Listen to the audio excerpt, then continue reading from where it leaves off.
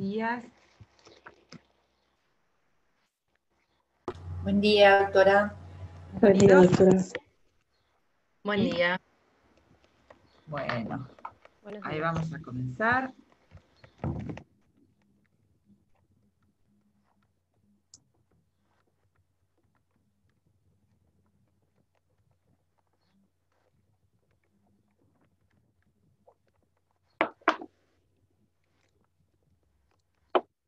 Bueno,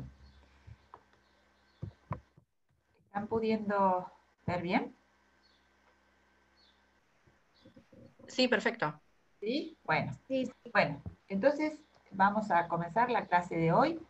Eh, hoy nos vamos a abocar al tratamiento de lo que se ha dado en llamar la comunidad hereditaria, eh, periodo que se produce a partir del fallecimiento de la persona y en tanto existan coherederos llamados a la transmisión hereditaria, eh, que se van a ver, digamos, involucrados en esta eh, universalidad jurídica que implica la herencia y en esta indivisión hereditaria. Hablamos de comunidad con la denominación tradicional de este periodo y esta situación que se plantea una vez fallecida la persona.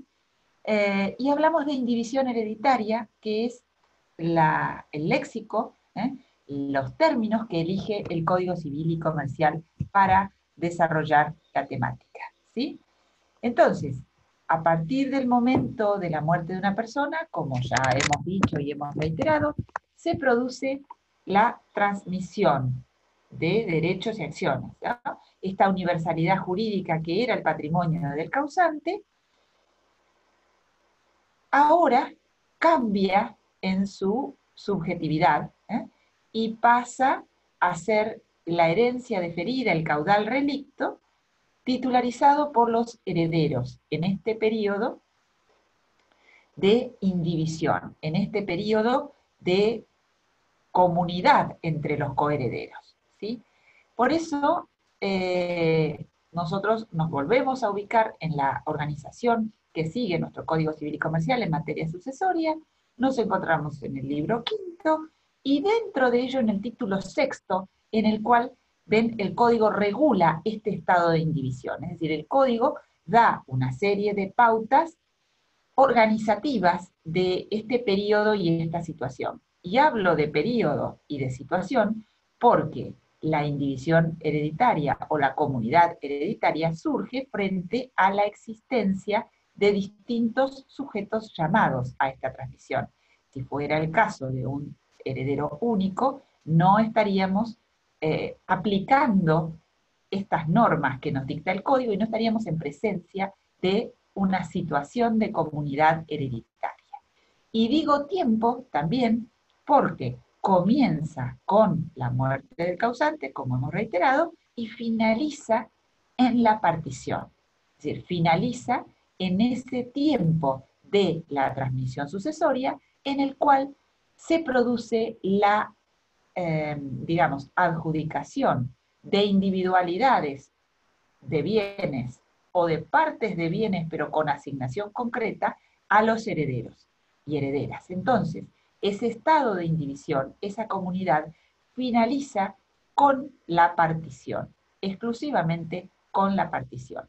Pero claro, también hay que agregar que las particiones, y vamos avanzando en lo que ustedes van a ir desarrollando en las clases futuras, que las particiones pueden ser totales y finales, o puede que exista una partición provisional o una partición anticipada de los bienes y parcial.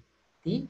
Cuando existen numerosa cantidad de bienes involucradas en la universalidad jurídica de la transmisión hereditaria y los herederos deciden efectuar particiones parciales, pueden ir, por supuesto, conviniendo este tipo de situaciones y poniendo fin en forma parcial, en forma limitada, a ese estado de indivisión quedará alguna indivisión remanente sobre algunos determinados bienes de la transmisión.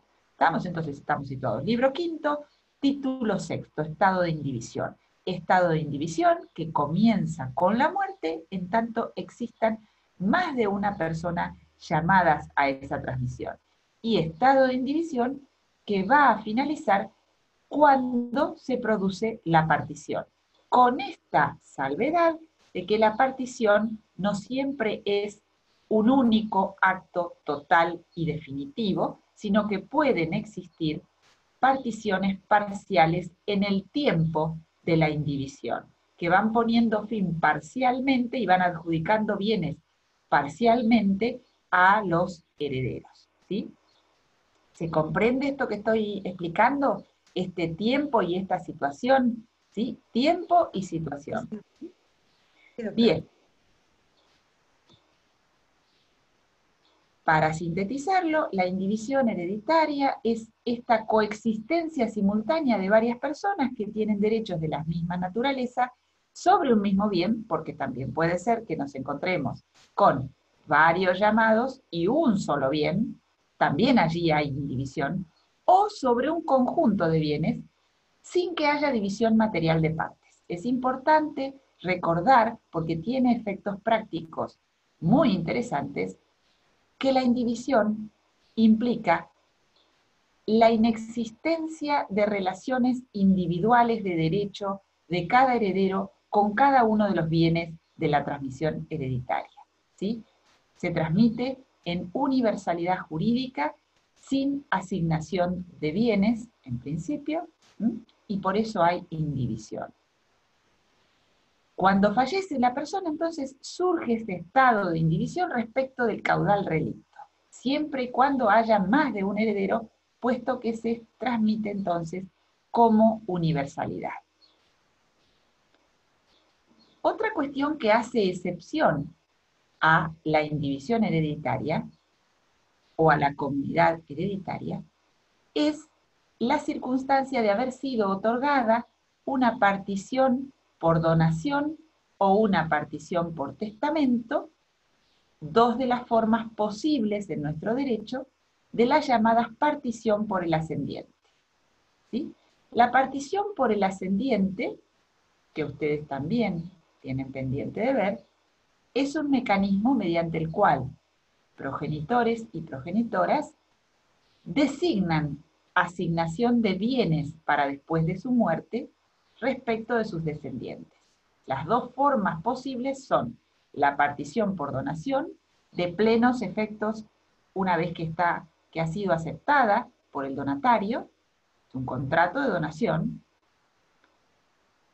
o la partición por testamento. Partición por testamento que reúne las características del acto testamentario, por ende, surte efectos a partir de la muerte del causante, no hay posibilidad de efecto previo, el testamento cobra eficacia a partir de la muerte del causante, en tanto reúna los recaudos necesarios para ser eficaz, y en esa situación, si hay partición por testamento, tampoco devendría el supuesto de la indivisión hereditaria si esa partición por donación agota la transmisión de bienes que se hace a partir de la muerte de esa persona. Entonces, excepciones a la indivisión hereditaria, la circunstancia de existir un solo heredero o la circunstancia de haber sido otorgada una partición por donación o una partición por testamento. ¿Sí? Esos dos supuestos forman las excepciones a la indivisión hereditaria. Vamos a los supuestos entonces en que hay indivisión. La hay porque hay coexistencia simultánea de varias personas con iguales derechos o derechos de la misma naturaleza, ¿sí? Varios coherederos. Si me encuentro con que en la transmisión hereditaria hay un heredero y a su vez el causante otorgó testamento instituyendo legados, tampoco voy a tener indivisión hereditaria, porque voy a tener un solo heredero obligado al pago de los legados, pero no hay llamamientos de la misma naturaleza. Sabemos nosotros que el llamamiento hereditario es un llamamiento destinado a abarcar la totalidad de la transmisión. En cambio, el legatario es una persona llamada por disposición testamentaria a una liberalidad que ha otorgado el causante. ¿Sí? En eh, esa frase que siempre reitero y que seguramente me la escucharon alguna vez, la diferencia sustancial entre el heredero es que el heredero adquiere bienes porque sucede el tinte ¿sí? de la sucesión en la persona que todavía marca camino en nuestro derecho civil y comercial. En cambio, el legatario sucede porque adquiere. Adquiere un bien o un conjunto de bienes que le han sido transmitidos a partir de esa liberalidad otorgada en testamento y sucede en esa relación individual de derecho. ¿sí? Pero está alejado de la universalidad de la transmisión hereditaria. ¿sí? Muy bien.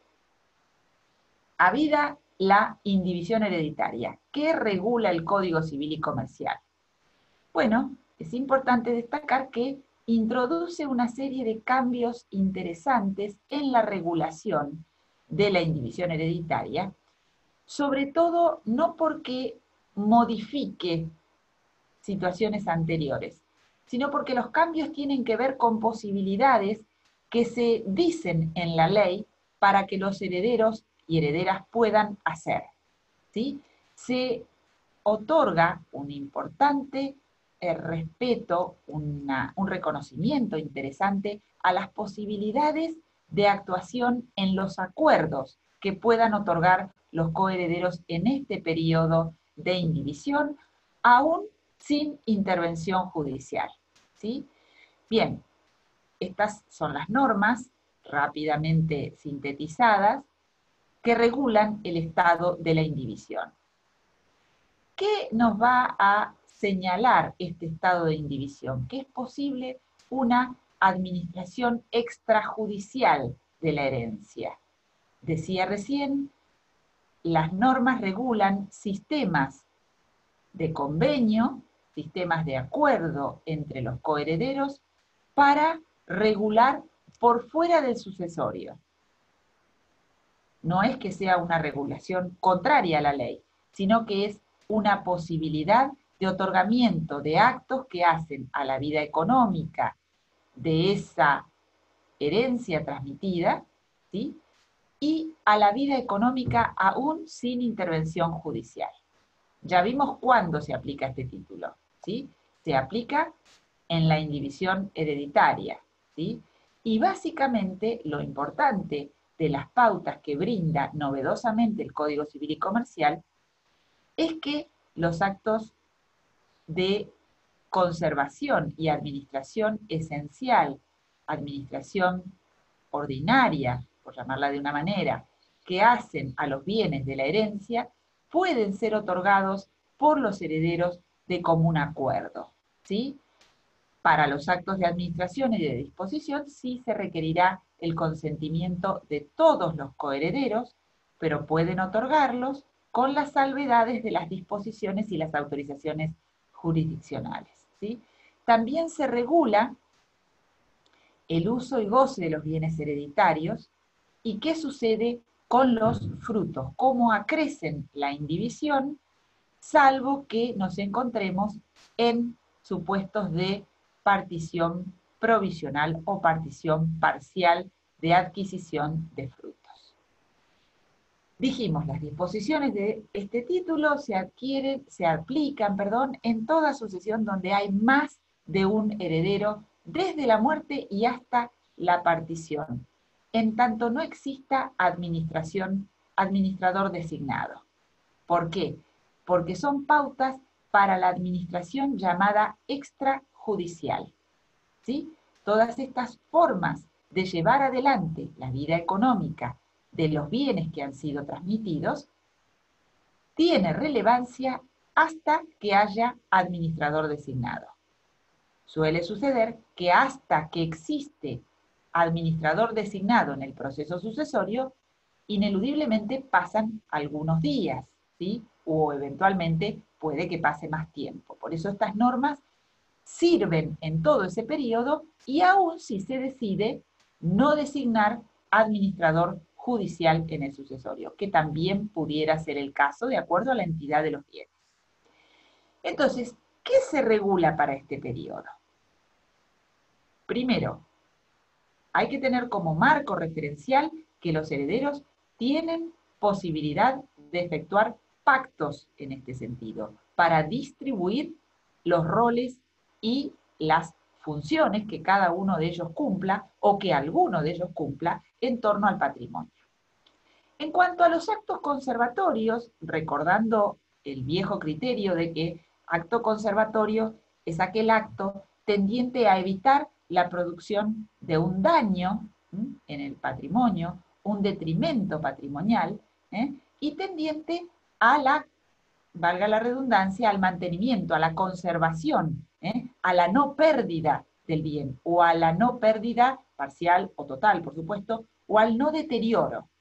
Entonces, frente a la necesidad del otorgamiento de actos conservatorios y, y o medidas urgentes, el código nos señala que cualquiera de los herederos puede tomar las medidas necesarias para la conservación de los bienes indivisos, ¿sí? para la conservación de cualquiera de los bienes que haya sido transmitido. Incluso pueden destinar bienes, destinar dinero, fondos, que se encuentren indivisos en la transmisión hereditaria y que estén eventualmente en su poder. ¿sí? O eventualmente podrá obligar a los coherederos a contribuir al pago de los gastos necesarios. ¿sí? Pero esta es la autorización para el otorgamiento de actos tendientes a evitar la pérdida patrimonial para los coherederos. ¿sí? Actos conservatorios y medidas urgentes. Por supuesto, en el estrecho margen que esto significa. Y sin poder dar una pauta de de qué forma cada acto puede ser conservatorio, porque esto tiene que ver con la composición patrimonial que se haya transmitido puntualmente. Existe numerosa cantidad de actos conservatorios que suelen ser muy importantes. Por ejemplo, el levantar una cosecha a tiempo es un acto conservatorio en tanto no se pierde el producido ¿eh? de una explotación de la que sea. ¿sí? Sabido es que frente a cuestiones de, frutos perecederos, por ejemplo, la no, eh, o sea, el no tomar las medidas a tiempo produce su pérdida eventualmente. Por eso, acto conservatorio puede ser el levantar una cosecha de manzanas o el cosechar las manzanas, así como puede ser un acto conservatorio la reparación de una instalación eléctrica de una obra en construcción o la reparación de un caño eh, pluvial o eh, la eh, reparación de una ventana para evitar el ingreso, no sé, hasta de las palomas este, en un departamento de propiedad horizontal. ¿sí? Estos son actos conservatorios. Muy bien. Actos de administración. Bueno, los actos de administración propiamente dichos, sabemos nosotros que son aquellos actos que tienden a que el patrimonio continúe produciendo aquello que regularmente produce sin desnaturalizarse. Bueno, entonces, eh, aquí ya no estamos en evitar un daño, sino que estamos en el plano de continuar produciendo lo que habitualmente el bien o los bienes producían. Estos actos de administración requieren el consentimiento de todos los, que, de todos los coherederos. Eh, Puede ser, por ejemplo, la locación de un inmueble que habitualmente se destinaba a ser locado, o eventualmente la locación de un inmueble que hubiera ocupado el causante y que para su, justamente para la producción de la renta que puede producir, haya que darlo en locación. Requieren entonces el consentimiento de todos los coherederos, quienes además podrán pactar, y volvemos a la autonomía de la voluntad de los herederos en este tiempo, podrán dar a uno o a varios de ellos mismos o a un tercero un mandato general de administración. ¿sí? Entonces, para estos actos se puede otorgar un mandato en estos términos. Ahora, para todo acto que de alguna manera importe una modificación o, a ver, un, eh, un, ir más allá de lo que ha sido la explotación normal de los bienes indivisos y justamente para la contratación y renovación de locaciones son necesarias facultades expresas, es decir, los coherederos pueden otorgar un mandato, pero este mandato, en el caso, por ejemplo, de la locación que mencionábamos, necesita contar con la facultad expresa. La facultad expresa implica el decir en el mandato el alcance de la autorización que se brinda para contratar. ¿sí? Y la facultad expresa, no puede intentar colegirse de el texto o interpretarse, debe estar dicho puntualmente. A su vez, cuando uno de los herederos toma a cargo la administración, ¿sí? esto suele suceder, que alguno de los herederos eh, o alguna de las herederas, por mayor cercanía en los actos eh, habituales que otorgaba el causante, o simplemente por eh, mayor cercanía, ya sea este, física o mayor cercanía en cuanto a la actividad que desarrolla, si alguno de ellos toma a su cargo la administración conociendo a los demás y sin oposición, ¿sí?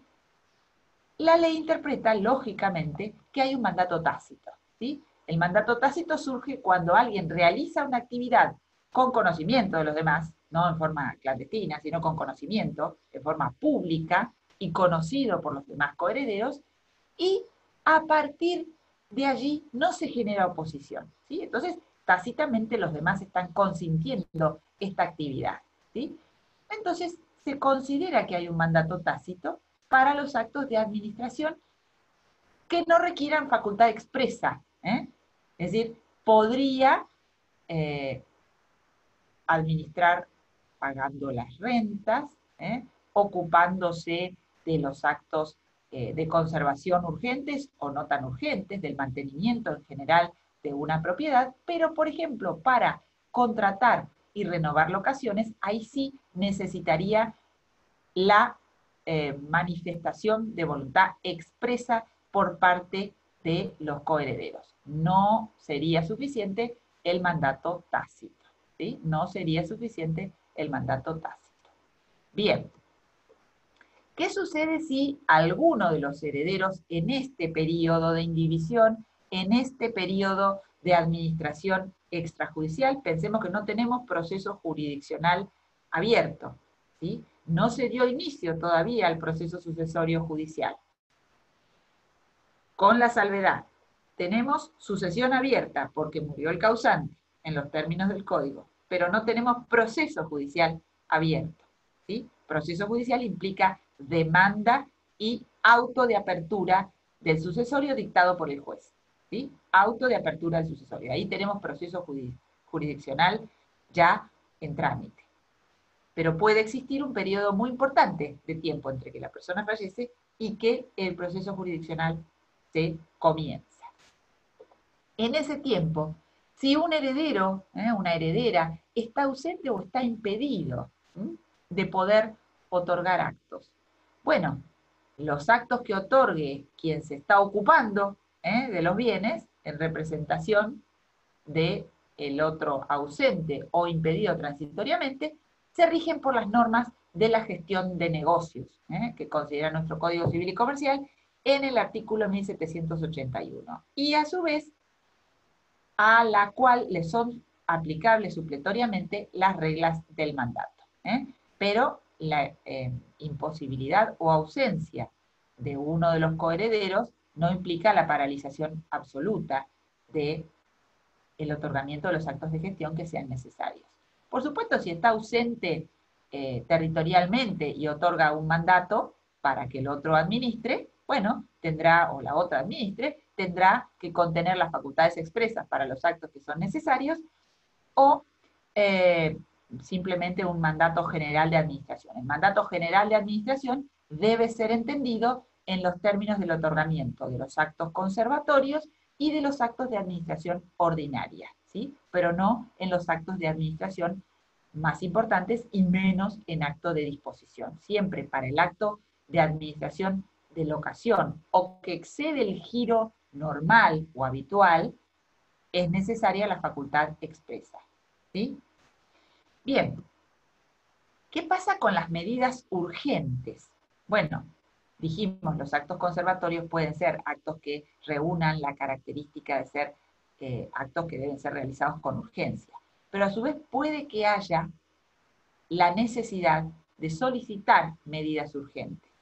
Y estamos en este periodo de la administración extrajudicial sin un proceso jurisdiccional sucesorio todavía instado. Aún antes de la apertura del proceso judicial supletorio, ¿eh? uno de los coherederos puede solicitarle al juez que ordene las medidas urgentes que requieren el interés común. ¿sí?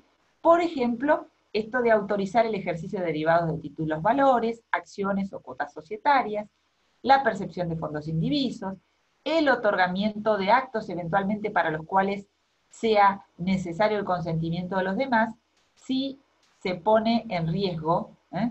Eh, bienes que componen el sucesorio y por ende se pone, eh, digamos, en ciernes el interés común, peligra el interés común de los coherederos. Esto es el pedido de medidas urgentes, ¿sí? Pedido de medidas urgentes, que puede solicitar al juez que eventualmente dicte. ¿sí? Podemos estar pensando en, medidas muy disímiles. Fíjense ustedes que esta enunciación que hace el 23-27 es meramente un, detalle de posibilidades, ¿eh? sin que agote las posibles medidas urgentes que pueden llegar a ser eh, necesarias en este sentido, para evitar la pérdida patrimonial de, de los saberes transmitidos. A ver, hay algunos supuestos, y esto es importante también mencionarlo, en los cuales la investidura hereditaria permite el ejercicio, y ha sido admitido desde la jurisprudencia, el ejercicio de ciertos actos para los herederos que están investidos de pleno derecho. Ustedes conocen a esta altura que los herederos investidos de pleno derecho son los descendientes, los ascendientes y el cónyuge. Por ejemplo, y a pesar de esto que dice el Código Civil y Comercial en esta materia, ha sido admitido el ejercicio de los derechos políticos societarios por parte de descendientes o de cónyuge en el caso de la realización de asambleas societarias. ¿sí? el ejercicio de los derechos políticos a partir de la investidura de la calidad de heredero de pleno derecho de quien es heredero o heredera de alguien que tenía acciones en una sociedad, ¿sí? en la sociedad anónima. Por ejemplo, esto se deriva de la investidura de pleno derecho ¿sí? del descendiente o de la descendiente. Sin embargo, podría ser que alguien no tuviera esta calificación de pleno derecho o que fuera cuestionada la posibilidad de la participación eh, en la asamblea societaria y que solicite al juez, el heredero, en estos términos, el ser autorizado a participar. ¿sí? Por eso hablamos de autorizar el ejercicio de derechos derivados de títulos valores, acciones o cuotas societarias. ¿eh? Pongo este ejemplo porque puede servir como para interpretar.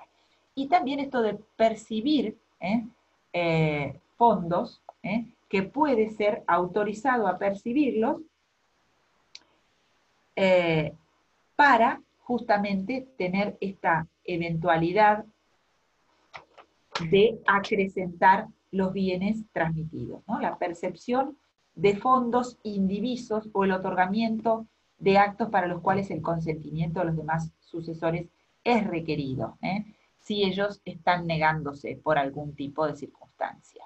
También puede ser que sea necesaria una autorización para iniciar un proceso judicial, ¿sí? Justamente tendiente a evitar pérdida, a evitar pérdida de bienes. ¿eh? Bien, también se puede llegar a solicitar como medida urgente y aún antes de la promoción del proceso sucesorio la designación de un administrador provisorio. ¿sí? Lo mismo que el evitar el cambio de situación de bienes o atribuir el uso personal de estas.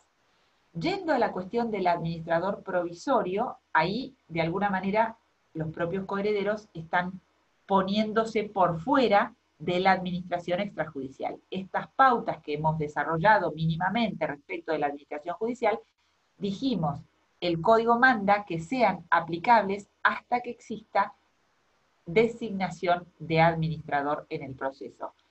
Bien, si los propios coherederos, aún como, eh, aún antes de promover el proceso sucesorio, entienden necesario, o uno de ellos requiere la designación de un administrador provisorio, esto puede ser proveído debidamente en caso justamente de ser necesario para el otorgamiento de los actos eh, que requieren los bienes. ¿sí? Imaginemos que muchas veces puede suceder que realmente eh, la muerte este, genere una situación caótica desde el punto de vista de la administración de los bienes, eh, cuando, cuando son este, muertes de personas que están en plena actividad económica y totalmente, digamos, imprevistas, por decirlo de alguna manera, ¿no? Entonces, esto puede requerir la designación de un administrador provisorio cuando no exista una persona que efectivamente dentro de los herederos pueda rápidamente eh, implicarse con la actividad que deba ser desarrollada de acuerdo a las características del bien o de la explotación económica. ¿sí? Entonces, la designación de un administrador provisorio puede ser una de las medidas urgentes a requerir por parte de alguna de las personas de los herederos. ¿sí? Así como justamente las prohibiciones que pueden afectar el desplazamiento de bienes o el otorgamiento de uso cuando no logra ser acordado. Recordemos que siempre tenemos que instar como profesionales del derecho a las posibilidades de acuerdo de uso de los bienes hereditarios entre los coherederos. Si esto no fuere posible por la, este, bueno, la conflictiva familiar que pueda existir, entre los coherederos, entonces uno de ellos o varios de ellos podrán requerirlo al juez. Bien. Respecto del uso y goce de los bienes, justamente, eh, así como ustedes vieron que en la indivisión poscomunitaria se regula de esta manera, también en la indivisión hereditaria, el código establece la posibilidad eh, del uso y goce de bienes incluso privativos. El heredero, los herederos pueden disfrutar y usar de la cosa conforme a su destino en la medida de la compatibilidad de ejercicio de derechos entre los coherederos. Puede suceder que ese uso específico que realice de alguno de los bienes uno de los herederos o herederas no afecte el derecho de otro o, realmente le, no le, no le preste atención el otro coheredero o lo admita puntualmente, entonces esto podrá transcurrir sin mayores este, inconvenientes.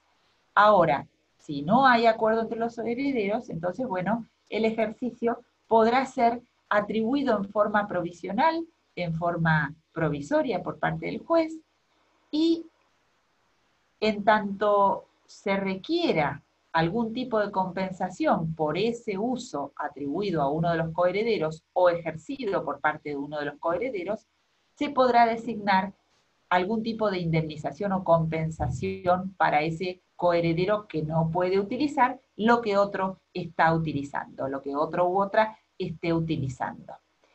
A ver, el copartícipe, dice el código, que usa privativamente de la cosa indivisa, está obligado salvo pacto en contrario, a satisfacer una indemnización, desde que le sea requerida. Es decir, los coherederos pueden acordar el uso de los bienes de la manera que les parezca conveniente, pueden no reclamarse derechos entre ellos, pueden pactar compensaciones entre ellos adecuadas, que les parezcan satisfactorias, pero en caso de desacuerdo y de ser requerida la fijación de una indemnización, esta será debida desde que ha sido requerida, ¿eh? desde que ha sido intimado judicial o extrajudicialmente al cumplimiento de una compensación. Desde que alguien se opone a que otro utilice en forma exclusiva, a partir de ese momento se genera la posibilidad de algún tipo de indemnización, que en caso de no haber acuerdo requerirá de designación judicial. Sí. Usted me hace una pregunta. Doctora, perdón, si hubiera muchos coherederos, uno solo reclama la indemnización, ¿eso beneficia a todos o solo al que la pidió? No, al que la pidió. Bien, gracias. Al que la pidió. En tanto lo haya solicitado exclusivamente por sí y no esté actuando en representación de nadie o en gestión de negocio de otro, solamente al que la pide. ¿Sí? Bien. En cuanto a los frutos de los bienes indivisos, dijimos hoy, estos acrecen a la indivisión en términos generales, ¿eh? van a ser parte de la masa a partir, acrecen la indivisión, salvo que exista partición provisional, ¿sí? salvo que entre los coherederos hayan otorgado pactos para adjudicarse frutos de unos y otros bienes entre sí, y entonces ya se esté distribuyendo entre ellos el fruto, ¿sí? o los frutos se estén distribuyendo. Entonces no vamos a crecer a la indivisión. Vuelvo a resaltar que es muy importante eh, advertir que todos estos artículos tienen que ver con las posibilidades operativas de los abogados eh, y aún de los herederos eh, asistidos por los abogados y asesorados por los abogados para otorgar pactos que eviten la proliferación de los conflictos. ¿sí? Muchas veces pactos eh, bien celebrados, convenios claros en los cuales las personas se afirmen en el ejercicio de sus derechos correctamente, evitarán la proliferación de conflictos que se retroalimentan y, que, bueno, este, en estos días hemos visto como muchas veces las cuestiones pueden exacerbarse de tal manera ¿eh? que lleguen este, a conflictos eh, irresolubles, a puntos este, de los cuales no se puede volver. Vuelvo a decir, el código da pautas para el ejercicio de derechos y nosotros como profesionales del derecho tenemos que ser proclives a buscar las formas viables de equilibrios de beneficios que hagan a la pacificación familiar y a llevar adelante acuerdos satisfactorios en esta materia, ¿sí? En esta materia. Esto de la partición provisional suele ser una válvula interesante para que los herederos puedan ir haciéndose de los bienes mientras, mientras se llegan a las particiones definitivas. Cada uno de los herederos tiene derecho a los beneficios y soporta las pérdidas proporcionalmente a su parte en la indivisión. Bien, pero esto es importante, la partición provisional puede devenir a partir de los frutos. ¿sí? Puede devenir a partir de los frutos. Bien, otro tema relativo a la indivisión hereditaria y que tiene eh, aspectos también muy interesantes desde el punto de vista de lo que puede ser eh, el trabajar para el pacto, el trabajar para el convenio, ¿sí? Una incumbencia en la cual no siempre los abogados estamos este, lo suficientemente preparados, pero que estas últimas décadas han tendido justamente a reforzar esto, ¿no? El redactar la cláusula adecuada, el redactar el pacto adecuado que lleva el enorme ejercicio de la previsión, ¿no? el buscar las formas de prevenir para evitar conflicto y prevenir para aplicación de la ley. Bueno, en el capítulo 2 del título sexto vamos a hablar de las indivisiones hereditarias. Indivisiones que han venido en el Código Civil y Comercial a sustituir aquella vieja ley 14.394 eh, que tantos temas abordó en el derecho de familias, en el derecho general, civil y hasta en el derecho de las sucesiones, ¿no? en algunos aspectos. Bueno, y justamente estas normas del 2330, 2331, 2332, 2333 y 2334, sobre todo las cuatro primeras, vienen a sustituir los supuestos de las indivisiones hereditarias planteadas allá en los artículos 51 53 de la ley 14.394. Eh, y allí vamos a ver que existen diversas formas de indivisión hereditaria algunas de las cuales aparecen desde la voluntad del causante, ¿no? La indivisión impuesta por el testador, que es la que primero vamos a trabajar. La indivisión impuesta por el testador requiere una cláusula testamentaria que así lo indique, ¿sí? Una cláusula testamentaria que establezca esta eh, indivisión, ¿no? Que establezca esta, este límite al ejercicio de la acción de partición.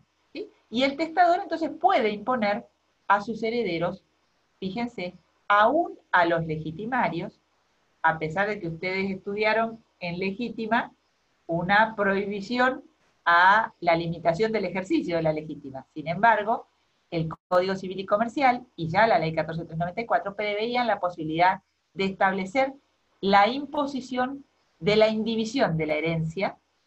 Fíjense que la indivisión, aún en forma total de la herencia, el testador la puede imponer por un plazo no mayor de 10 años, salvo que haya herederos incapaces, dice el código, eh, herederos que no hayan llegado aún, diríamos nosotros, que no hayan llegado aún a la mayoría de edad, y que se imponga la indivisión hasta que ellos alcancen todos la mayoría de edad.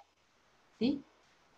A ver, esta es una limitación que se funda fundamentalmente en un criterio de eh,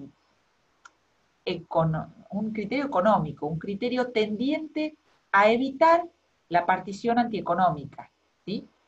un criterio tendiente a sostener la empresa familiar, ¿sí? a sostener la empresa del causante ahora transmitida a sus herederos. ¿sí? Y en esta previsión testamentaria que se establece, se establece entonces esta limitación al ejercicio de la partición por parte de los coherederos. De 10 años o aún más si existen herederos que son personas menores de edad. No solamente podrá ser impuesta a toda la transmisión hereditaria, sino que podrá ser a una parte de ella, a un bien determinado, a un establecimiento comercial, agrícola, o a partes sociales o cuotas o acciones de la sociedad de la cual es principal socio o accionista. ¿eh? Esto, reitero, tiene que ver con un criterio esencial de mantenimiento de una empresa, de mantenimiento de una explotación o de la necesidad de evitar que un bien en particular sea partido ¿eh? y se mantenga ¿eh? hacia la familia, ¿eh? hacia la familia, que pueda ser continuado en la utilización por parte de la familia sin ser partido. Bien, esta es la imposición que puede establecer el testador desde su disposición. ¿eh? Muy bien. Esta indivisión impuesta, si fuera establecido por más cantidad de años, será entendido solamente a 10 años. Pero también puede ser dejada sin efecto o, eh, digamos, autorizarse la división, ya sea en forma total o en forma parcial, antes del vencimiento del plazo, cuando hay requerimiento judicial de un coheredero y la ley establece que el juez deberá, este, digamos, valorar la concurrencia de circunstancias graves o razones de manifiesta utilidad. ¿sí? Recuerden esto, circunstancias graves o razones de manifiesta utilidad. Es decir, que en principio se va a atender a respetar la voluntad del causante con esta disposición de testamentaria. Pero puede ocurrir que, incluso por circunstancias sobrevinientes a lo que fue la, explotación comercial en la época del causante, ¿eh? o, incluso sobrevinientes en, en el tiempo después de la transmisión hereditaria, sea necesario el cese de esta indivisión y se otorgue alguna autorización para, reitero, partir en forma total o en forma parcial. ¿eh? Bien, esto en cuanto a la indivisión impuesta. Pero también los coherederos pueden pactar indivisiones, ¿sí? Pueden pactar entre ellos indivisiones. Es decir, pueden autolimitarse en la facultad de solicitar la partición. ¿eh? Y esto también es parte de las normas destinadas a ver cómo, como abogados, trabajamos en los acuerdos familiares y en el sostenimiento de los bienes o de las empresas puntualmente, o fondos de comercio o explotaciones. ¿eh? Los herederos pueden convenir ¿eh? que la indivisión entre ellos perdure total o parcialmente por un plazo que no exceda 10 años, sin perjuicio nuevamente de la partición provisional de uso y goce de bienes entre los copartícipes. Esto relacionado justamente con el uso de los bienes y la adquisición de frutos que veíamos hace un momentito. Y si hubiera herederos incapaces o con, con capacidad restringida, hay que tener en cuenta, es decir, podemos hablar de herederos personas menores de edad o herederos con vulnerabilidades psíquicas que han determinado que haya una sentencia de restricciones en su capacidad de obrar o que haya directamente una sentencia de incapacitación.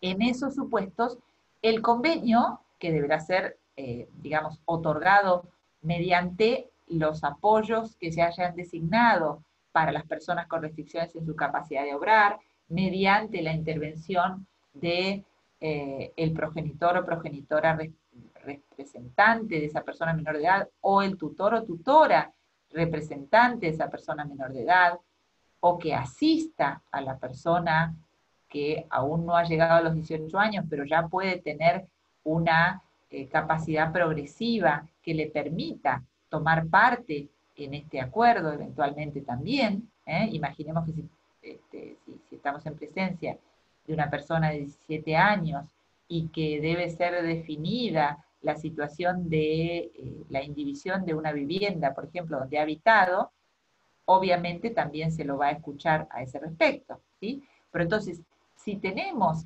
herederos o herederas, personas eh, con limitaciones en sus capacidades de obrar, el convenio, más allá del ejercicio de, los derechos a partir de sus representantes, deberá tener también aprobación judicial.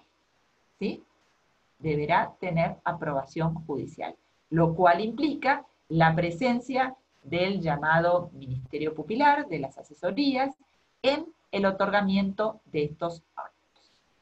Eh, a ver, para hacer, porque nosotros vinimos hablando de administración extrajudicial en la primera parte, ahora estamos hablando de indivisiones, hablamos de la indivisión impuesta por el testador, impuesta en el acto testamentario, por ende, por fuera del proceso jurisdiccional, ¿verdad? cuando el causante estaba vivo, otorgaba el testamento y allí imponía la cláusula de indivisión. Cláusula de indivisión que recobra toma su eficacia, que surte eficacia a partir de la muerte del causante. En estos pactos de indivisión estamos hablando de pactos que podrán ser otorgados antes del inicio del proceso sucesorio, si fueran todas las personas mayores, capaces, este, sin restricciones en su capacidad de obrar, pero también puede ser que estos pactos de indivisión se otorguen en el proceso sucesorio, como puede ser el caso de esta existencia de herederos este, con restricciones en su capacidad de obrar o con aún falta de mayoría de edad. En estos supuestos que requieren la aprobación judicial, el acuerdo va a ser otorgado en el ámbito del proceso jurisdiccional. Bien, estos pactos de indivisión se pueden renovar ¿eh? por igual término. ¿eh? Por igual término, es decir, podemos renovar un pacto de indivisión por 10 años más. ¿eh? Y también hay que tener en cuenta que incluso en el primer pacto que celebren los coherederos, cualquiera de ellos podría eventualmente solicitar la partición antes del vencimiento del plazo, siempre que existan causas justificadas. A ver, de la lectura de las, de las dos normas del pacto impuesto, perdón, pacto impuesto no, la indivisión impuesta por el testador y el pacto de indivisión, pareciera ser que es necesario una causal más grave para eh, contrarrestar la indivisión impuesta por el testador que en el caso del pacto de indivisión. ¿sí? Se habla simplemente de causas justificadas, cuando en la norma anterior hablábamos de la concurrencia de circunstancias graves o razones de manifiesta utilidad. Aquí hablamos simplemente de causas justificadas. Pareciera ser con un mayor este, rango de posibilidades para el, heredero que lo solicita y un menor grado, eh, digamos, de severidad del juez al resolver sobre la necesidad de establecer la división. División que podrá ser nuevamente parcial o división que podrá ser total de acuerdo a las circunstancias. ¿sí? Bien, y vamos a otros supuestos de indivisión. Hablamos de indivisión impuesta por el testador, pacto entre los coherederos, y ahora nos vamos a detener en la oposición, ¿sí? Es decir, aquí no hay pacto con herederos, no hay imposición del testador, hay una oposición, en este caso del cónyuge, ¿sí?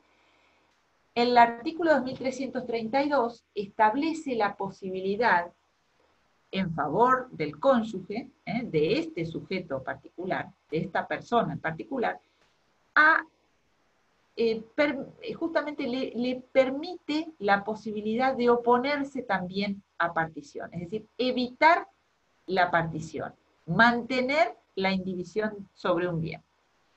Dice la norma puntualmente, si en el acervo hereditario existe un establecimiento comercial, industrial, agrícola, ganadero, minero o de otra índole, ¿eh? genéricamente, que constituye una unidad económica o partes sociales o cuotas en las cuales el cónyuge superstite ha adquirido o constituido en todo o en parte el establecimiento, o que es principal socio o accionista de la sociedad, puede oponerse a que se incluyan en la partición, excepto que pueda serle adjudicado en su lote partitivo. ¿sí? Entonces, ¿qué exige la norma? Que este cónyuge o esta cónyuge haya adquirido o constituido este establecimiento o sea un principal socio o accionista de la sociedad, para evitar la partición, evitar que esta empresa ¿eh? se parta de esta forma. Entonces puede oponerse a que se incluya en la partición, salvo que estos bienes le pudieran ser adjudicados en su totalidad en el lote. ¿eh?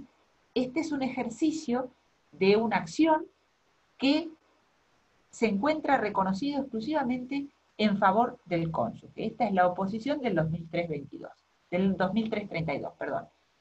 También tiene derecho a oponerse a la partición el cónyuge que aunque no haya adquirido ni constituido en sí el establecimiento, haya participado activamente en la explotación. ¿Mm?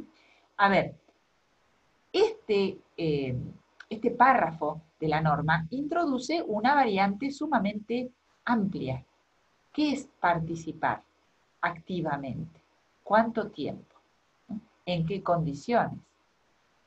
¿Antes o después de la muerte? Son todas variables que la jurisprudencia habrá de aplicar ¿eh? en el tiempo. Todavía no hay mucha cantidad de registros jurisprudenciales sobre estas materias, pero esta es una norma laxa, una norma laxa que dará tintes interpretativos diversos. Y en estos casos, fíjense ustedes que es, importante esta facultad que, que, se reconoce al cónyuge, fundamentalmente porque la indivisión se mantiene en principio hasta 10 años, a partir de la muerte del causante, pero puede ser prorrogada judicialmente a pedido del cónyuge sobreviviente hasta su fallecimiento. Entonces, se brinda al cónyuge que participó en la adquisición o que es un, este, importante accionista o titular de porciones, de partes, esta posibilidad, y también al que participó activamente. ¿eh? Démonos cuenta que eh, es una facultad sumamente importante porque es evitar la división, evitar quizá que otros herederos puedan hacerse de su porción en esto. Con lo cual habrá que ver cómo se conjugan los derechos de los demás para la viabilidad y la extensión que se pueda reconocer a esta norma. Sobre todo cuando existen otros herederos legitimarios ¿eh? que no podrán ver pospuesta indefinidamente la posibilidad de acceso a la legítima hereditaria que la ley les reconoce. ¿sí? Bien, es una norma sumamente amplia ¿eh? que incluso puede ser otorgado en forma vitalicia, como vemos allí al final. Muy bien. También hay algo más que dice este 2332, una norma, por cierto, muy extensa en su redacción. ¿Quién va a ejercer la administración? Bueno, durante la indivisión esta, ¿eh? que logra el cónyuge por este ejercicio de la oposición a la partición, la administración del establecimiento de las partes sociales o de cuotas corresponde al cónyuge sobreviviente, sobreviviente, sobreviviente, perdón. A instancia de cualquiera de los herederos, el juez puede autorizar el cese de la indivisión antes del plazo fijado, nuevamente si concurren causas graves o de manifiesta utilidad económica que justifican la decisión. ¿sí? Pero nuevamente, los términos de permisión de este cese de la indivisión son estrictos. ¿eh? Causas graves o manifiesta utilidad económica. Esto permitiría que al heredero que se encuentra limitado en el ejercicio de su derecho por la oposición a la partición del cónyuge, se le permita este cese de la indivisión para satisfacer sus derechos. Bien, también en otra posibilidad que se le brinda al cónyuge, el cónyuge puede oponerse a la partición de la vivienda, ¿eh? que ha sido la residencia habitual de los cónyuges al tiempo de fallecer y que ha sido adquirida, construida total o parcialmente con fondos gananciales, con sus muebles para que no sea incluida en la partición mientras él sobreviva, ¿eh?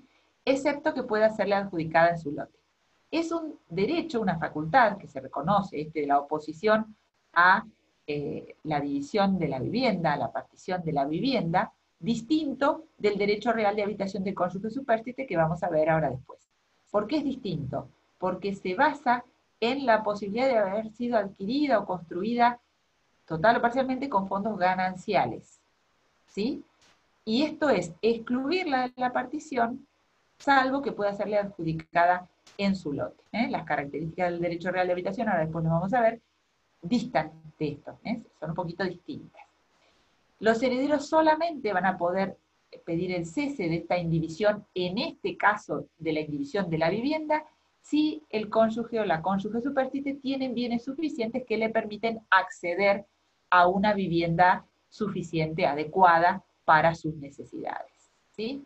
Entonces, la oposición del cónyuge puede, tiene tres manifestaciones diversas, esta facultad de oposición del cónyuge, para no partir el bien que él ha contribuido a formar, o la empresa o la explotación que él ha contribuido a formar, aquella empresa o explotación, fondo de comercio, que, en el cual ha participado activamente, aunque no haya contribuido a formarla o adquirirla, y finalmente esta última variante del inciso C, la posibilidad de oponerse a la división de la vivienda. ¿sí? Oponerse a la división de la vivienda. Muy bien. ¿Y qué puede un heredero común que no sea cónyuge? ¿Mm? ¿Qué puede un heredero común que no sea cónyuge? Eh, perdón, una salvedad que me faltó hacer. En el inciso C de la oposición del cónyuge, tenemos que tener en cuenta que es un reconocimiento de una facultad a un cónyuge que ha tenido una comunidad de bienes, ¿eh? una comunidad ganancial, a esto me refiero, cuyo régimen patrimonial fue la comunidad ganancial, porque se está hablando de construida total o parcialmente con fondos gananciales, ¿sí? Con lo cual no estaría allí la posibilidad para aquel que eh, vivió con un régimen de separación de bienes, ¿sí? Dicho desde el texto expreso de la ley, en estos términos, ¿sí? Bien. ¿A qué se puede oponer un heredero que no sea cónyuge? Eh? Un descendiente, un ascendiente, un colateral. Oposición de un heredero. En las mismas circunstancias que las establecidas en el anterior, o sea, el que contribuyó a formar un establecimiento, el que participó activamente, un heredero puede oponerse a la inclusión en la partición del establecimiento que constituye una unidad económica, si antes de la muerte del causante ha participado activamente en la, explotación de la empresa. ¿sí? Entonces, esto permite que un coheredero se oponga a la partición fundado nuevamente en la posibilidad del mantenimiento eh, de una unidad económica productora de bienes. ¿eh?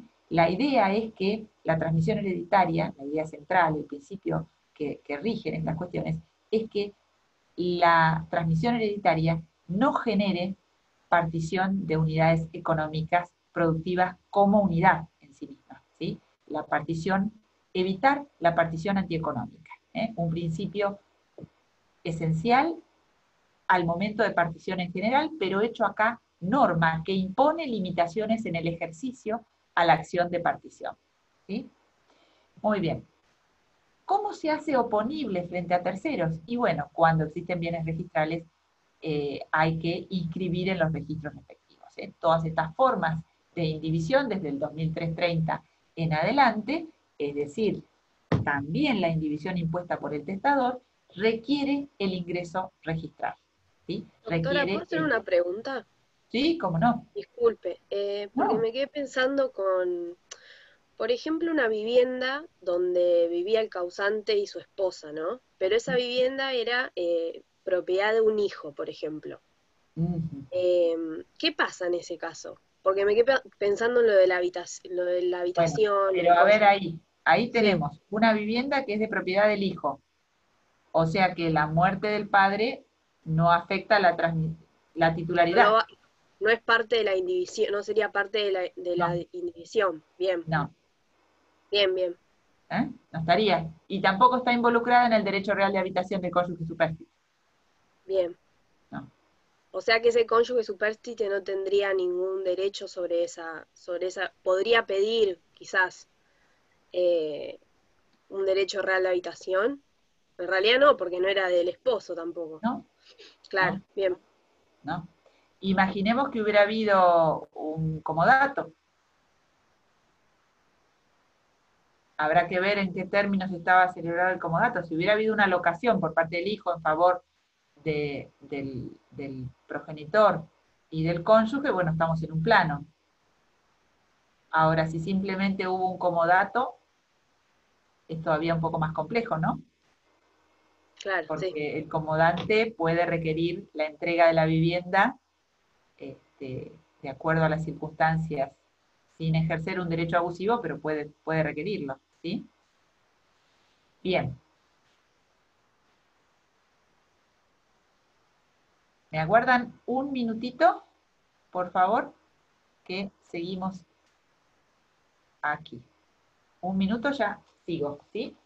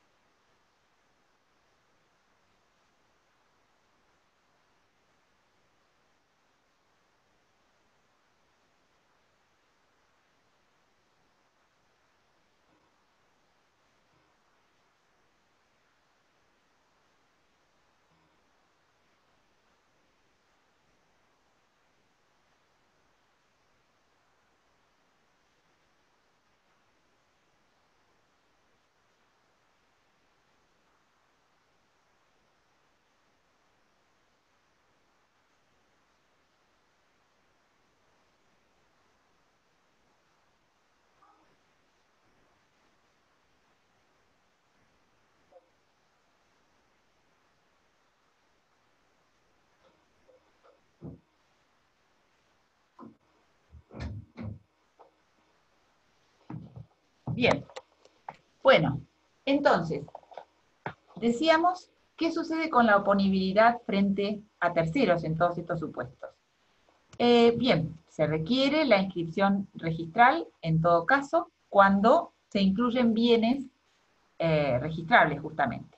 Entonces, en cada registro deberá ser inscripta para lo cual necesitaremos una orden judicial de inscripción. ¿Cómo se accede al registro? Eh, si fue impuesta testamentariamente, deberá ser ordenado desde el proceso sucesorio testamentario en el cual se esté trabajando, y eventualmente la oponibilidad de la indivisión pactada entre coherederos podrá surgir o del otorgamiento de una escritura de indivisión o del otorgamiento del libramiento de oficios a partir del proceso jurisdiccional. En la indivisión o durante el periodo de la indivisión, esto es importante tenerlo en cuenta, los acreedores de los coherederos no pueden ejecutar los bienes indivisos, ¿eh? Eh, ni una porción ideal de los bienes indivisos, porque están en, este, en esta indivisión involucrados, pero pueden cobrar las acreencias de los frutos o de las utilidades de la explotación que corresponde a su deudor. Hoy cuando comenzamos a hablar, yo les decía, es muy importante tener presente que la indivisión hereditaria es una universalidad y como universalidad no genera atribución de partes en particular a los herederos, salvo el reconocimiento de particiones provisionales que ellos puedan otorgar. Entonces, los acreedores de los herederos no tienen derecho eh, para poder efectivizar medidas cautelares sobre los bienes en particular. ¿sí? Porque todavía los propios herederos no tienen una relación individual de derecho con cada bien. ¿sí?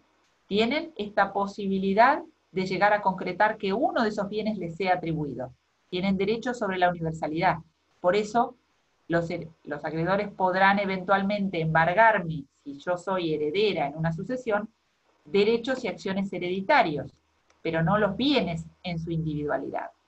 Y en la indivisión, frente a terceros, esta indivisión, hecha oponible por la inscripción respectiva, los acreedores de los coherederos no pueden ejecutar, reitero, el bien indiviso, ni una porción ideal, pero pueden cobrar sus acreencias de las utilidades ¿eh? que correspondan a su deudor. ¿sí? Al igual que si existe una atribución de frutos pactada provisionalmente. Por supuesto que la indivisión no impide el ejercicio de derechos del acreedor del causante. ¿sí? El acreedor del causante sí podrá ejercer sus derechos para incluso apresurar la obtención de frutos o apresurar la partición para lograr cobrar su acreencia. Pero hablamos de acreedor del causante. ¿sí? Bien, para comparar y para ir finalizando en algunas cuestiones en la partición. Dijimos, acá hablamos de indivisión, hablamos de oposición a la partición. Pero tenemos que recordar que en la partición, es decir, cuando ya estemos atribuyendo los bienes, hay circunstancias en las que permiten la atribución preferencial de establecimiento. ¿sí? ¿Por qué? Porque alguno de los herederos en particular, o el cónyuge sobreviviente nuevamente, podrá pedir la atribución preferencial, pero la atribución preferencial no es oposición a la partición, sino que es partición elegida o partición preferida. a ver si, si soy clara en esto. Una cosa es oponerme a que un bien se parta para seguir explotándolo en la indivisión hereditaria, y otra cosa muy distinta es que al momento de la partición, alguno de los herederos o cónyuge reclamen la atribución de ese fondo de comercio, de esa unidad económica o de ese bien en particular al lote de alguno de los herederos en, en especial. Cuando hablamos de atribución preferencial, estamos hablando de partición. ¿Soy clara en esto que estoy diciendo? Para ver la diferencia, ¿sí? la gran diferencia que existe. Una situación es oponerme a la partición, partir la indivisión de una unidad económica. Mantengo ¿eh? el vínculo entre los coherederos en relación a la unidad económica. En cambio, en la atribución preferencial, estoy destinando, o el partidor y el juez están destinando un bien, una unidad económica, a un heredero en particular, al cónyuge o eventualmente en condominio a dos herederos, ¿sí? O a heredero y cónyuge. ¿Está? pero ya hay partición, hay acto de adjudicación de derechos y allí ya sí hay relación individual de derecho de ese heredero o ese cónyuge con ese bien en particular, con esa unidad económica en particular. ¿Sí? Esto se puede dar en eh, unidades económicas o también en bienes ¿eh? o en ejercicio de derechos en particular, atribuciones preferenciales. ¿sí? Incluso puede ser solicitada por varios coherederos, ¿sí? pero ahí ya estamos en el momento final de la partición. Y aquí la comparación con de, entre la figura de la oposición a la partición de la vivienda, que hablábamos del cónyuge, vivienda que él haya contribuido con fondos gananciales, ¿sí? él o ella hayan contribuido con fondos gananciales. El derecho real de habitación del cónyuge superstite es bien distinto, porque acá el cónyuge que sobrevive al causante tiene un derecho real ya de habitación que ya de inicio se reconoce como vitalicio, gratuito, de pleno derecho sobre el inmueble de propiedad del causante, que constituyó el último hogar conjugal, haya sido propio o ganancial, no importa. ¿sí? Es derecho real que se le reconoce al cónyuge en forma vitalicia, no importa qué régimen de, de, bienes tuvieron en el matrimonio, ¿sí?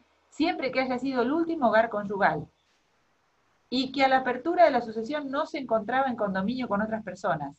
No importa si tiene otros bienes o no tiene otros bienes se habla puntualmente de el mantenimiento de la vivienda conyugal en favor del cónyuge superstite. ¿sí? Por supuesto que tampoco este derecho es oponible a los acreedores del causante. Y si bien la norma establece que se reconoce de pleno derecho, siempre será aconsejable, adecuada, necesaria la inscripción registral la inscripción registral, para evitar posibles ulterioridades o merma en el ejercicio de derechos del derecho real de habitación. ¿eh? Se reconoce de pleno derecho. Se reconoce de pleno derecho y hasta cuándo puede ejercerlo el cónyuge, hasta que acepte partición del bien. Es decir, hasta que acepte, en tanto no otorgue un pacto partitivo sobre ese bien, podrá ejercer el derecho real de habitación del cónyuge ¿sí? Pero ven que es una figura distinta a la oposición que se reconoce en los artículos que estábamos analizando hoy. ¿eh? Este es el derecho real de habitación. Muy bien. Se reconoce entonces de pleno derecho. ¿sí? Y siempre y cuando el bien no se encontrara en condominio con otras personas. ¿sí? Nadie puede transmitir un mejor derecho que el que tiene y el causante no puede transmitir a su cónyuge un mejor derecho que él mismo tenía o ella misma tenían sobre el bien, si era, por ejemplo, propietario del 50%, no puede reconocerse el derecho real de habitación por sobre el derecho del condómino que con él, con él o ella tenían ese bien. ¿sí? Bien, situación distinta para tener en cuenta y para comparar atribución de vivienda en caso de muerte de un conviviente. ¿eh? que nos regula el 527, que no está en la materia sucesoria porque el conviviente no tiene, o la conviviente no tiene reconocido derecho hereditario en el derecho argentino. ¿eh? El conviviente superstite que carece de vivienda propia, ¿eh? podrá ejercer este derecho que le reconoce la ley que nos dice efectivamente el conviviente superstite que carece de vivienda propia habitable o de bienes suficientes que aseguren el acceso a esta, puede invocar el derecho real de habitación gratuito por un plazo máximo de dos años sobre el inmueble de propiedad del causante que constituyó el último hogar familiar y que a la apertura de la sucesión no se encontrara en condominio con otras personas. Este derecho nuevamente es inoponible al acreedor del causante, ¿sí? Y se extingue si el conviviente superstite constituye una nueva unión convivencial, contrae matrimonio o adquiere vivienda propia habitable. Ponemos así eh, las normas en comparación a esta altura para darnos cuenta ¿eh? de la distinta entidad del reconocimiento de derechos, de las variables o variantes que puede ejercer un cónyuge superstite en torno a la unidad económica, en torno a las cuotas sociales que pudiera haber tenido el causante, en la oposición a la partición de estos bienes, de la vivienda, el derecho real de habitación del cónyuge superstite y este reconocimiento de derecho en favor del el unido convivencial que encontramos en el 527. ¿sí? Bien, eh, recordemos que la muerte era una, de las causales de extinción de la comunidad y por eso emergen todos estos derechos eh, vinculados a la cuestión patrimonial, matrimonial, de las cuales hemos hablado. Y recordemos también que en la indivisión poscomunitaria, cuando es por causa de muerte, justamente la indivisión se rige por las normas de la indivisión hereditaria. ¿sí? Por eso me pareció atinado volver a mencionarlo. ¿sí? La atribución preferencial también reconocida en la liquidación poscomunitaria conyugal, ¿eh? que aparece nuevamente reconocida en los supuestos de la indivisión hereditaria. ¿sí? Y el régimen de separación de bienes, eh, por fuera de la comunidad de ganancias, que permite al cónyuge el ejercicio de todos los derechos derivados de su carácter de heredero, si, por supuesto, no se han dado alguna de las causales de exclusión hereditaria conyugal. ¿sí?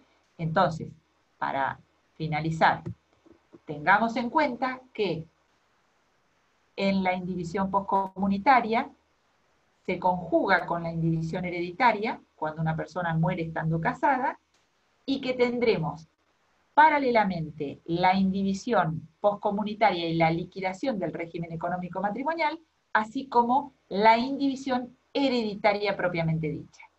Y que en la comunidad de gananciales se liquidarán las ganancias que correspondan al cónyuge superstite y en el régimen de separación el cónyuge entra a jugar con sus derechos hereditarios, fundamentalmente, y sin que exista liquidación de gananciales, porque los gananciales no han existido en su régimen. ¿Sí? Bueno, espero que se haya comprendido eh, esta, esta, parte este, y que haya permitido también revisar algunas otras cuestiones del derecho sucesorio tal como lo vienen viendo ustedes. ¿Sí? ¿Alguna pregunta para hacer? Doctora, una pregunta. Sí. Eh, es acerca del parcial. ¿Se sabe aún la modalidad? Y Eh, también respecto del trabajo práctico, ¿cuándo va a estar subido aproximadamente? Yo, viste, Ya. para ir organizándome. Sí, sí. Para la semana próxima ya va a estar subido el práctico Bien, y el parcial eh, estimamos que va a ser oral. bien, perfecto. Sí, el parcial va a ser, este, estimamos que va a ser oral. ¿m? Bueno, han podido, eh, han podido ir avanzando más o menos bien con la materia. ¿Qué dificultades han surgido? Me interesa conocerlas porque, bueno, esta modalidad para todos ha sido nueva. este, y, bueno, siempre, siempre uno está viendo a ver cómo corregir situaciones para que esto sea más productivo, ¿no? Porque todos hacemos un esfuerzo muy grande eh, y ustedes obviamente están haciendo un esfuerzo muy grande para poder este, sostenerse en el estudio de esta forma, ¿no? A mí personalmente las clases me, me resirven, eh, así que no tengo nada para decir, que la verdad que vamos bien. Bien, bien. Sí, yo solo tengo una consulta respecto de las clases de los sábados. Sí, yo sé que hubo clases anteriores que las subieron a un canal de YouTube y nunca nadie me dijo dónde las podía encontrar. Quizás estaría bueno, a modo de, no sé, sería más cómodo por ahí subirlas directamente al campus. Porque, por ejemplo, personas Ah, bien. que, que no tengo tanto manejo de la tecnología, se me dificulta buscar clases en Bien. otros lados, por ahí. Puntualmente, ¿cuáles, ¿cuáles le faltan? A mí todas las de los sábados. Si hubo Bien. anteriores. si No han habido tantas, ¿eh? No han habido tantas los sábados. Bueno, yo otra que- Bien, pero eh, me, porque yo di una los sábados, usted está en el grupo eh, de Stitch? Sí. Porque me parece que allí, la que yo había dado el sábado, quedó subida allí. Pero Ahí me en el fijo. Ah, sí, bueno. eh, me fijo y, y se la hago llegar. ¿eh? Muchísimas gracias, doctora. No, Gracias. por favor. Bueno, eh, esta clase seguramente va a estar subida, vieron que tarda un tiempo en ser subida, este, pero hasta la noche o así, y después yo vuelco también el PowerPoint como para que lo tengan si les sirve como para repasar. ¿eh? Bueno, Gracias, un doctora. saludo muy grande a todos, que estén muy bien y que tengan un lindo fin de semana. Igualmente. Gracias, igualmente. Gracias. Igualmente, gracias doctora, hasta luego.